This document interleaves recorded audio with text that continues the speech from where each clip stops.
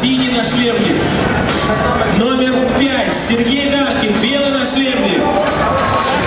И номер девять Алексей Гузарев, желтый нашлемник. Даркин это такой бы?